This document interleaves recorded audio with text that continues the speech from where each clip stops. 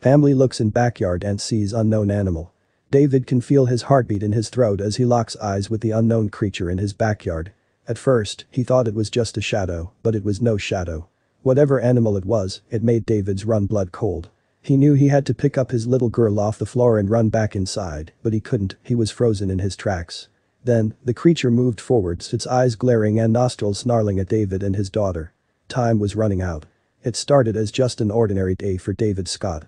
He had his breakfast, finished reading his morning paper, and now he was going to take his toddler Jamie outside in the backyard to play. Today was going to be a good day. David could just feel it. But this devoted dad had no idea what was lurking around the corner, waiting for David and his three-year-old.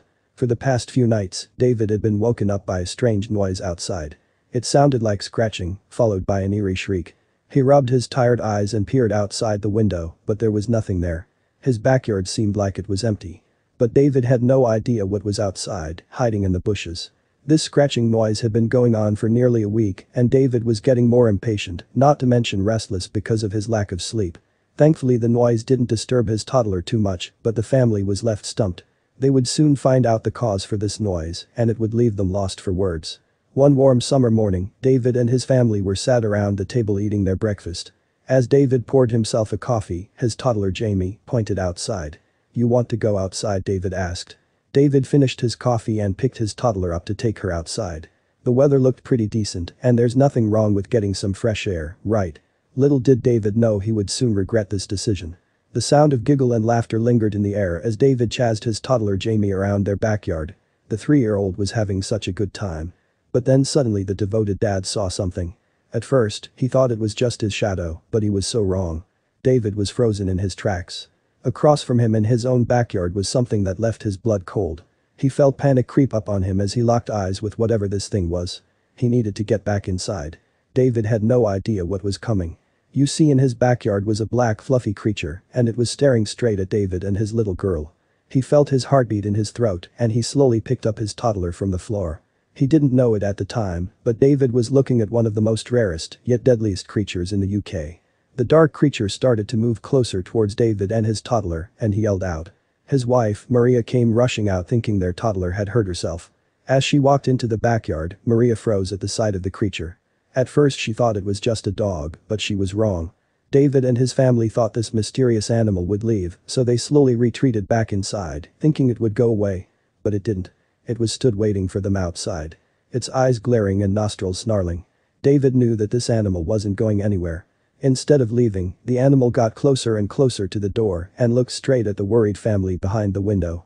They knew they couldn't just leave it outside, so Maria got out her phone and snapped some pics of the animal. She posted them to social media in the hope someone would be able to help, but she had no idea what she was about to discover. At first, it seemed nobody had answers for Maria and her family, but then Amanda Lovett, a former RSPCA inspector, saw the pictures of the creature and straight away contacted the family. As she clung to the phone waiting for someone to pick up, she hoped it wasn't too late. She had an idea of what exactly this creature was, and the Scott family needed to get far away from it as quickly as they can. The RSPCA Royal Society for the Prevention of Cruelty to Animals is a UK organization that has been caring and looking after animals since 1824. But the RSPCA team had never heard of a case like this one reported by David and his family.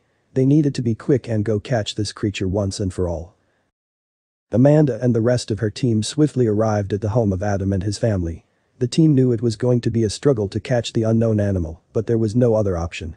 A few hours passed and finally, the team managed to entice the animal in a box that Amanda took with her to the wildlife center Stapeley Grange. Once in a safer environment, Amanda could find out the truth about this creature. And when she did she dropped to her knees.